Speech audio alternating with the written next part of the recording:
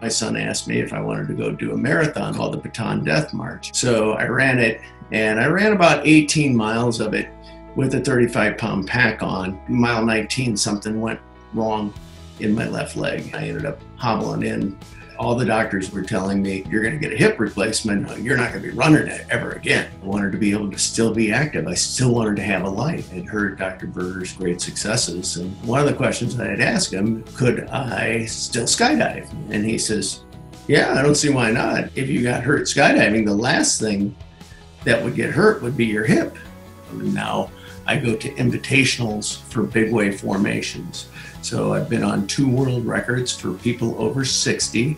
I did a 66 way and a 75 way. Recently, this year, I went to Dallas and we did a COVID virus uh, formation. Last year in Eloy, Arizona, the Veteran Day Big Way built a large V with 42 people in it.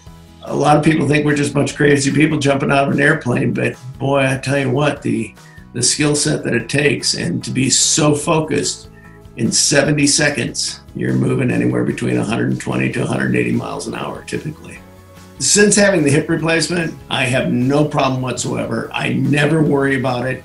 I've put up another thousand skydives since i came back um, and that's all with the new hip. It's so much more fun enjoying your life than watching everybody else enjoy their life